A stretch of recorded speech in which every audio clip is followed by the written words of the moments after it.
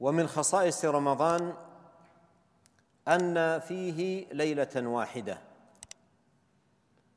عظم الله شأنها وفخم أمرها وأعلى قدرها فجعلها خيرا من ألف شهر. أي أن العبادة فيها أعظم من العبادة في ألف شهر ليست فيها ليلة القدر. وألف شهر بحساب السنوات أكثر من ثمانين سنة. أكثر من ثمانين سنة. عمر رجل معمر يحصل في ليلة واحدة.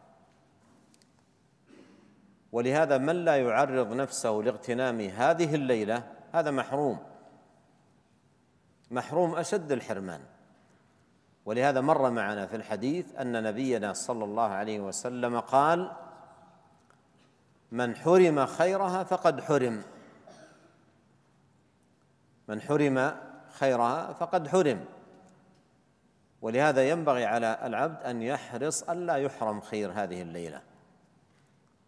وذلك بأن يري ربه من نفسه خيرا. وكان عليه الصلاة والسلام إذا دخلت العشر وفيها تتحرى ليلة القدر العشر الأواخر من رمضان أحيا ليلة وشد مئزره وأيقظ أهله. وقال عليه الصلاة والسلام تحروا ليلة القدر في العشر الأواخر من رمضان. ولهذا في العشر الأواخر من رمضان ينبغي على العبد أن لا يصاب بالفتور لأن بعض الناس يبدأ رمضان بنشاط ثم يفتر. لا بل عليه في العشر الأواخر أن يضاعف الجهد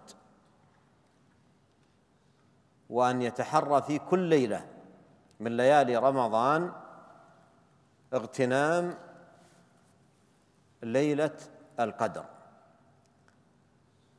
ولا يلتفت للرؤى وما أدراك ما الرؤى. هذه تعيق كثير من الناس عن تحري ليلة القدر في العشر كلها.